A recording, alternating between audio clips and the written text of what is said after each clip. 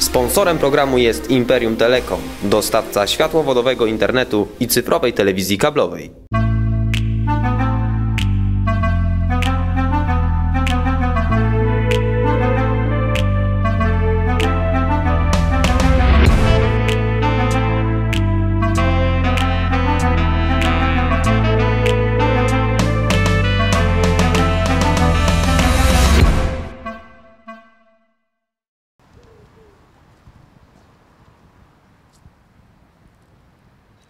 Dzień dobry, Andrzej Wawrzyczek. E, Dzisiaj program z kamerą wśród ludzi e, z ulicy Dolnych Wałów.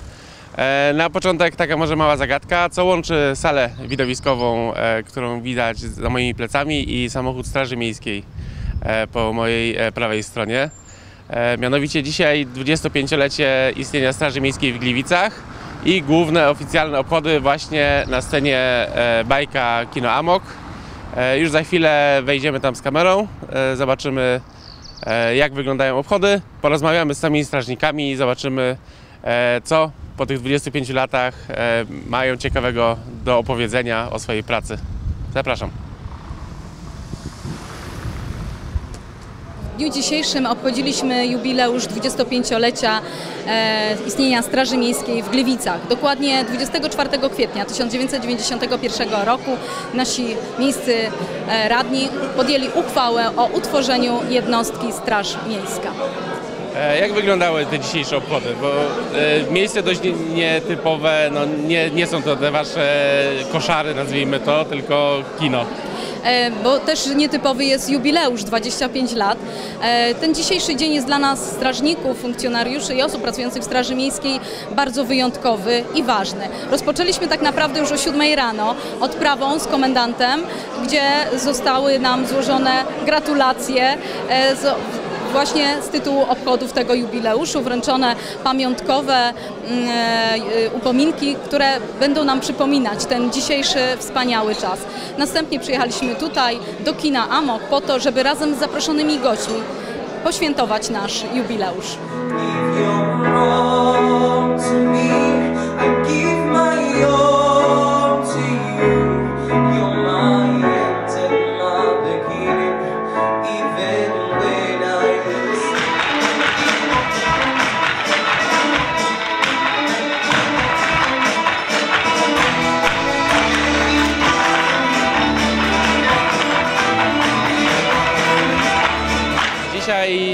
święto Gliwickiej Straży Miejskiej, 25 lat e, obchodzicie, ale no właśnie, bo panowie są już w służbie te, te 20-25 lat. Jak to wyglądało na początku?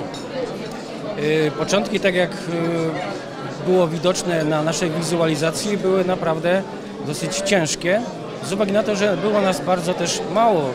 Początkowo nas było około 15 do 18 funkcjonariuszy. Dzisiaj już bliżej, blisko 50 przeszło. Tak, w tej chwili jest ponad 50 ludzi, funkcjonariuszy w terenie. Cała jednostka liczy ponad 80 osób. Staramy się na co dzień być widoczni w tym terenie i staramy się pomagać naszym mieszkańcom, żeby po prostu, jak to mówią, żyło się im lepiej.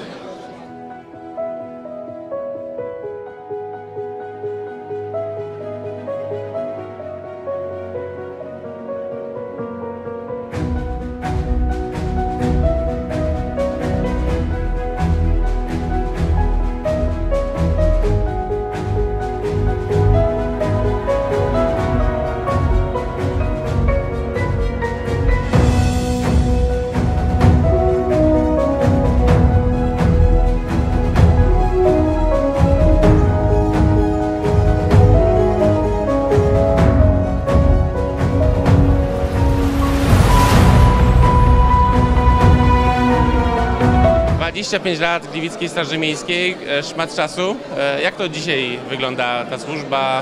E, Trochę może w liczbach, trochę może w kompetencjach. No w liczbach, w liczbach liczby cały czas rosną, to tak nie da się powiedzieć. Straż Miejska cały czas się rozwija, dotykamy coraz większej liczby uprawnień, zadań, które wykonujemy.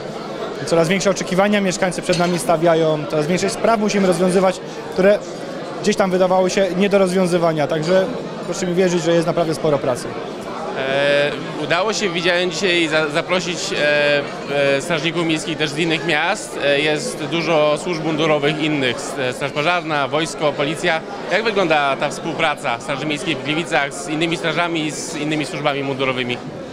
Jeżeli chodzi o aspekt formalny, to, to, to jeżeli chodzi o ustawy, to tak naprawdę nie mamy za bardzo możliwości współpracy poza tą pomocą prawną, którą sobie nawzajem wykonujemy. Natomiast jeżeli chodzi na terenie miasta ze służbami, z wojskiem, ze strażą pożarną, całe spektrum działań, e, jeżeli chodzi o bezpieczeństwo i porządek, bo tutaj trzeba sobie już w tym momencie powiedzieć, jeżeli coś się wydarzy na terenie miasta, no, akcja zabezpieczenia akcji i tak dalej, to w naszych kompetencjach najbardziej jest, jesteśmy wzywani i wspieramy te działania, także na bieżąco. Z tego co wiem, e, dość często właśnie z uwagi na te ograniczone kompetencje Straży Miejskiej, wiele interwencji kończy się wezwaniem właśnie patrolu policji, który jakby przejmuje sprawę, kontynuuje, więc jesteście takim jakby pierwszym ogniwem, który e, no, powo- powoduje zgłoszenie pewnych spraw e, na policję na przykład. To jest tak, że strażników jest dość sporo w terenie. I mamy pewien nieformalny podział zadań między policją a strażą miejską. To nie jest tak, że my ich zastępujemy, e, bo nikt policji nie odebrał uprawnień. Natomiast pierwsze działania z wykroczeniami, które są przez e, sprawców popełniane, faktycznie my bierzemy na siebie i potrafimy je załatwić. Jeżeli cho- dochodzi do sytuacji, gdzie strażnik już nie ma kompetencji, czyli wchodzi moment przestępstwa, nie może tego dalej prowadzić, wtedy się faktycznie wzywa policję, tak? Czyli mamy sytuację legitymowania kierowcy, kierowcy, który powinien e, wykazać się prawo jazdy, a się okazuje tak naprawdę, że tego prawo jazdy nie ma. E, No właśnie, bo to też po- powoduje pewne takie nieporozumienia, bo często mieszkańcy na przykład e, interweniują, że czemu Straż Miejska czegoś tam nie robi, a okazuje się, że wy po prostu nie możecie tego robić. No tak to jest. No, proszę sobie zauważyć, że w ciągu roku w tam, na 2015 ujawniliśmy ponad 35 tysięcy wykroczeń. Czy to jest mało, czy to jest dużo? Mamy skład 85-osobowy. To naprawdę jest ogrom pracy włożonej przez strażników e, w to, żeby pomóc mieszkańcom, bo z jednej strony się pomaga, no niestety, z drugiej strony ktoś jest e, w jakiś sposób represjonowany przez nas, czyli próbujemy doprowadzić do ładu porządku. Ale to tak musi funkcjonować. Gdybyśmy nas nie było, to te 35 tysięcy wykroczeń, 18 tysięcy zgłoszeń mieszkańców do Straży Miejskiej w ciągu roku musiałoby wpaść do policji. Co by się stało, gdyby tym samym składem policja musiała to, to zrobić? Dlatego jest taka służba, jaką my jesteśmy. Wykonujemy swoją pracę, posiadamy kompetencje, posiadamy szkolenia i staramy się uzupełniać to, co by musiałoby poświęcić tak naprawdę e, czas pracy e, policja. no nie tylko wykroczenia, ale aspekty codzie- codziennego dnia, aby pomóc. E, Niejednokrotnie e, ludzie zwracają się do, do nas z pomocą.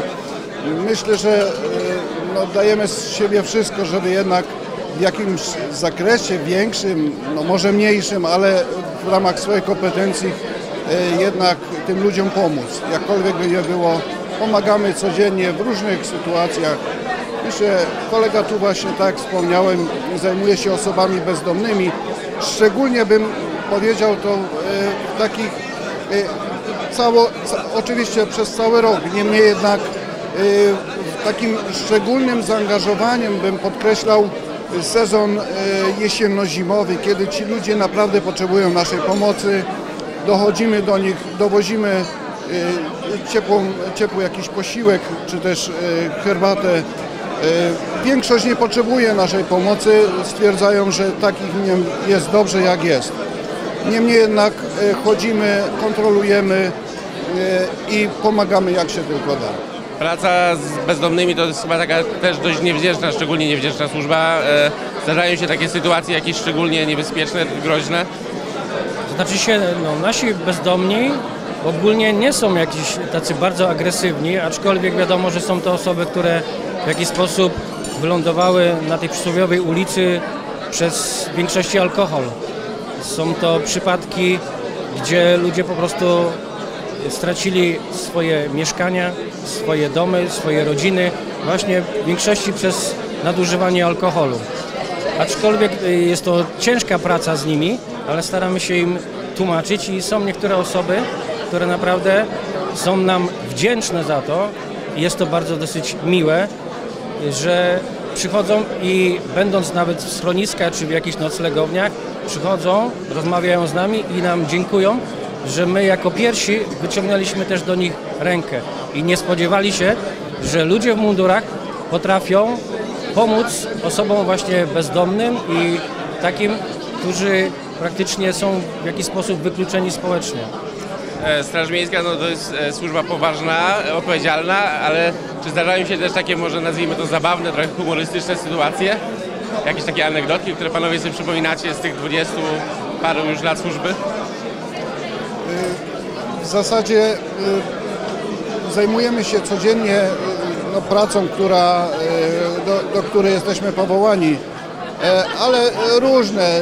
Przypomina mi się jeszcze z lat tych bardzo dawnych, e, kiedy dostaliśmy do wypróbowania, do takiej, taki motorek, komarek, gdzie mnóstwo ludzi zwracało na nas uwagę, bo mieliśmy zadanie przetestować tego komarka, więc jechaliśmy na dzielnicę Czechowice e, z kolegą.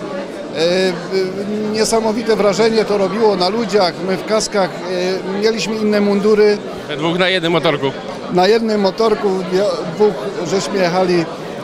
Niesamowite było to wrażenie. Ludzie machali nam, podziwiali, uśmiechali się do nas. Było to zabawne, dużo radości sprawiało. Bardzo fajnie było. Rozumiem, że testy chyba nie do końca się udały, bo motorów w służbie nie ma. One miały być na krótki czas przetestować i wtedy no, komendant miał zdecydować, czy one jednak będą nam potrzebne, czy niepotrzebne, w jakim zakresie. E, W każdym razie po, testo, po tym teście e, nie było motorów ani komarków. Zamiast tego w sezonie letnim są rowery. Y, Tak, mamy w tej chwili patrole rowerowe, które się sprawdzają.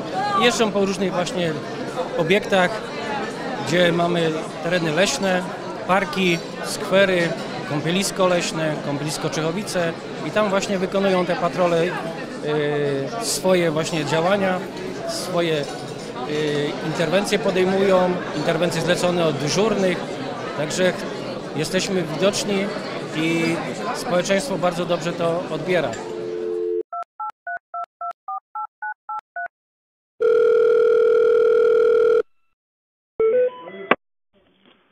Dzień dobry, Straż Miejska w Gliwicach, inspektor Grabowski, czy mogę pomóc? Dzień dobry, witam serdecznie. Biedronka, Gliwice Dworcowa z tej strony. Dzisiaj były wyłącznie gratulacje składane na wasze ręce, E, ale jak to jest na co dzień? Więcej jest właśnie takich słów po- pochlebnych, czy jednak e, jakieś takiej krytyki ze strony mieszkańców? Y, Te sytuacje są bardzo różne. Należy podkreślić fakt, że przede wszystkim bardzo zmienia się tak naprawdę opinia o Straży Miejskiej. Staramy się, żeby mieszkańcy rozumieli też nasze zadania. Mówimy przede wszystkim o naszych zadaniach, o naszych obowiązkach, które nakłada na nas ustawa i miejscowe prawo w postaci uchwał, którzy nasi radni uchwalają i myślę, że ta współpraca pomiędzy mieszkańcami i strażnikami miejskimi jest na coraz lepszej drodze.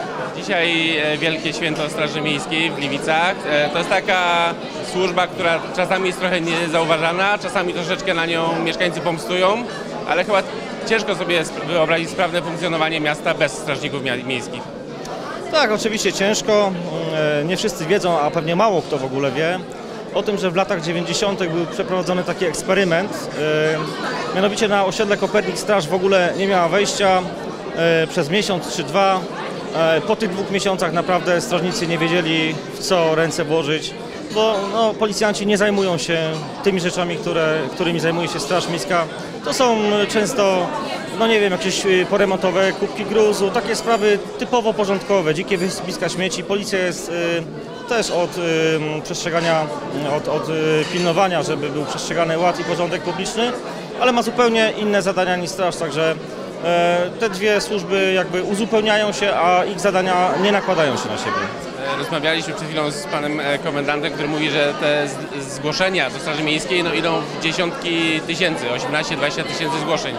Tak, rzeczywiście to są dziesiątki tysięcy, to są różnego typu zgłoszenia. Zdarzało się nawet, że e, strażnicy jechali do dzików biegających po dworcu, e, pamiętam do węża gdzieś, który, który uciekł z terrarium, także rzeczywiście spektrum działania straży jest bardzo szerokie, jest to służba e, potrzebna w naszym mieście. W Rybniku jakiś czas temu była, e, była nawet referendum e, za zlikwidowaniem Straży Miejskiej. W Gliwicach domyślam się nie ma takich w ogóle pomysłów.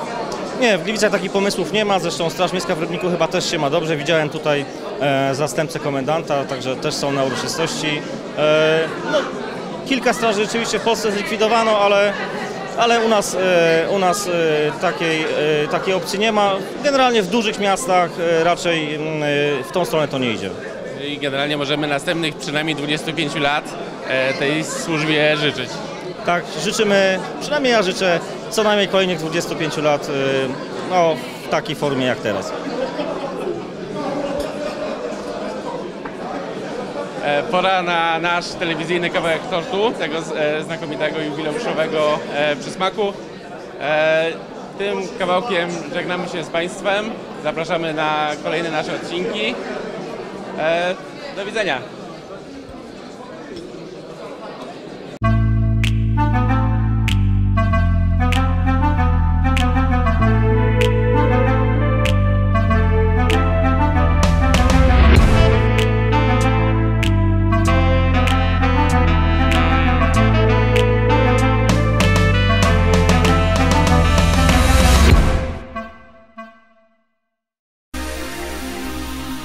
Sponsorem programu jest Imperium Telekom, dostawca światłowodowego internetu i cyfrowej telewizji kablowej.